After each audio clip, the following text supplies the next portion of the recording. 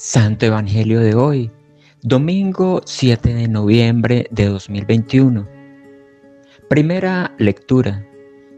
Lectura del primer libro de los Reyes. En aquellos días, el profeta Elías tomó el camino de Sarepta y al llegar a la entrada del pueblo encontró una viuda recogiendo leña. La llamó y le dijo, por favor, tráeme para beber un poco de agua en un jarro. Mientras iba a buscarla, Elías le gritó, Por favor, tráeme también un pedazo de pan. Ella le respondió, Te lo aseguro, por la vida del Señor tu Dios, pan no tengo. Y lo que me queda en casa es un puñado de harina y un poco de aceite estaba recogiendo un poco de leña para ir a hacer pan para mí y para mi hijo. Comeremos y después nos moriremos. Elías le dijo, no te angusties, ve a preparar lo que has dicho, pero primero hazme a mí un panecillo y tráemelo. Después lo harás para ti y para tu hijo porque así dice el Señor, el Dios de Israel, en tu casa no faltarán la harina ni el aceite, hasta el día en que el Señor mande la lluvia a esta tierra. Ella se fue, hizo lo que le había dicho Elías, y él y la viuda con su hijo tuvieron comida para varios días. Así, como lo había dicho el Señor por boca de Elías. No faltaron en la casa la harina ni el aceite. Palabra de Dios. Salmo responsorial. Alaba, alma mía, al Señor. El Señor mantiene su fidelidad perpetuamente. Hace justicia a los oprimidos y da pan a los hambrientos. El Señor liberta a los cautivos. Alaba, alma mía, al Señor. El Señor abre los ojos al ciego. El Señor endereza a los que ya se doblan. El Señor ama a los justos. El Señor guarda a los peregrinos. Alaba, alma mía, al Señor. Sustenta al huérfano y a la viuda, y trastorna el camino de los malvados. El Señor reina eternamente. Tu Dios, Sión, de edad en edad. Alaba, alma mía, al Señor.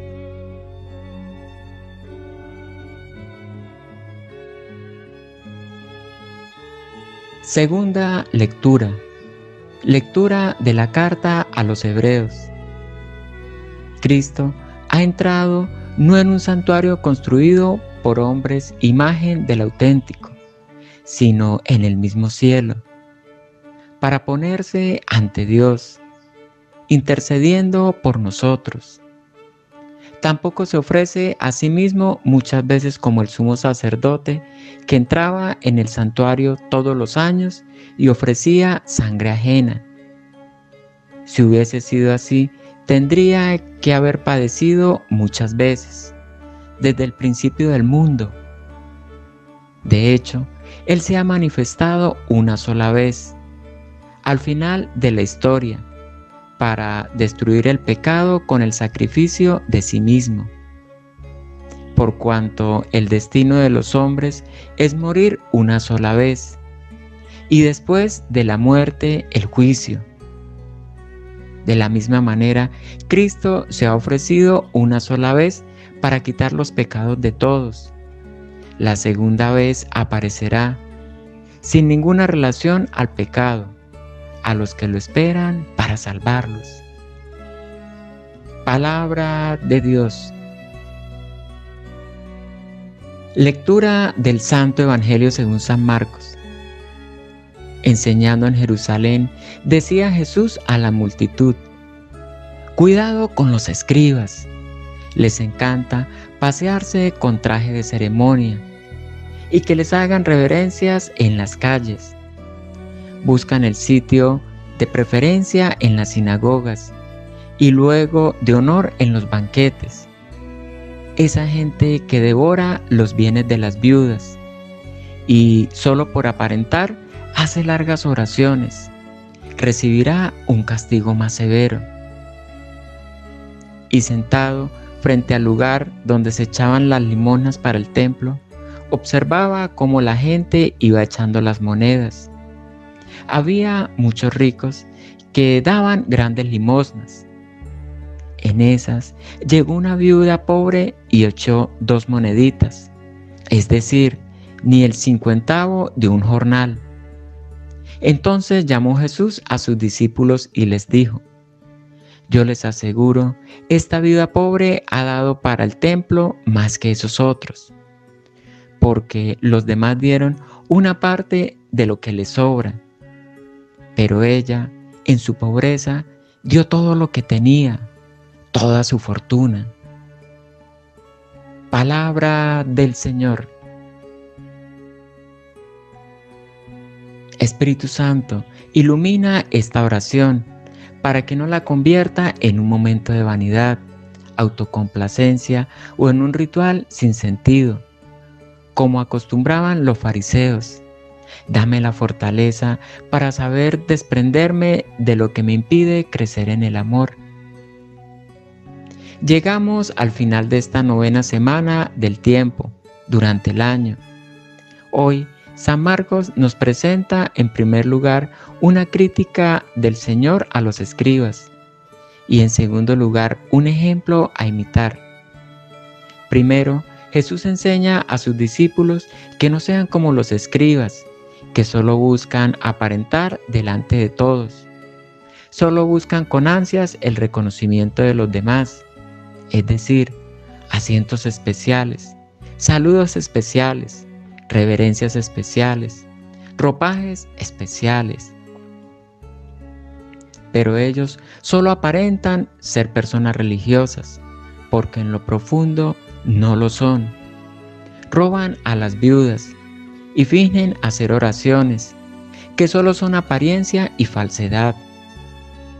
En segundo lugar, Jesús sigue con su enseñanza dando un ejemplo de verdadera santidad a sus discípulos aprovechando lo que ve en el patio de las mujeres del templo de Jerusalén. Mientras muchas personas dan grandes sumas de dinero como ofrenda al templo del Señor, solo lo hacen para aparentar porque dan lo que les sobra. En cambio, la viuda pobre, la más desprotegida, solamente da dos monedas. Todo lo que tenía para vivir ella lo da porque ha descubierto que solo el Señor puede llenar su corazón y su vida y lo material no importa. Es lo que Jesús quiere que sus discípulos aprendan. Son sencillas y sugerentes las dos escenas paralelas que escuchamos hoy. La viuda de Sarepta que ayuda a Elías y la viuda del templo que echa unas monedas para el culto a Dios. La de Sarepta pagana tiene doble mérito en fiarse del profeta y de su Dios, pero le da todo lo que pide, que es también todo lo que ella tiene para su sustento y el de su hijo. Y ve premiada su generosidad por Dios. Con razón la alaba Jesús en su primera homilía a Nazaret, provocando por cierto las iras de sus paisanos, porque alababa la fe de una pagana la viuda del templo también es pobre, pero se acerca a los encargados de las limonas y lo entrega todo, es decir, todo lo que tiene, dos monedas, para contribuir al culto de Dios. Jesús la alaba. No alaba la pobreza, sino que alaba la generosidad.